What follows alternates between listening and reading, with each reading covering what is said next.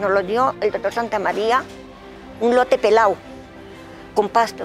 Lo cercamos con alambre, con la finada Emilia, las otras ya habían muerto otras. Con la finada Emilia lo cercamos y nos quedábamos de noche acá. Acá nos quedábamos cocinando la sopita, lo que fuera, y el tinte para por la noche. Y ya lo cercamos con alambre.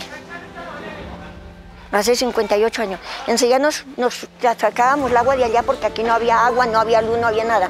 Era un potrero. Hicimos unas tolditas de plástico, ¿sí?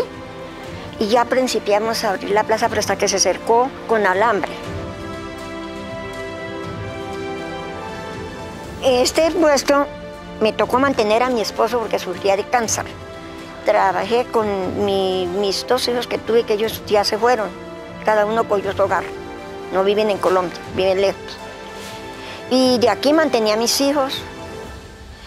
Y usted sabe que los hijos son prestados.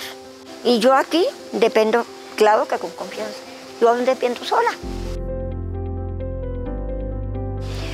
Yo he hecho mis maticas, que son poquitas, y la tierrita, que eso hace muchos años, la he hecho de palo quemado. Eh, lo que es fruta, de corabastos. Lo que es mercado, de corabastos. Yo voy solita con Dios y la Virgen y traigo mi mercado.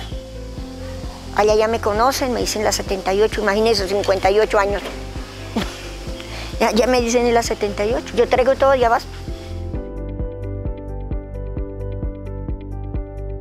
Invito a la comunidad del barrio para que vuelvan a comprar a la Plaza San Benito, que colaboren en el barrio, nos ayuden, ¿sí?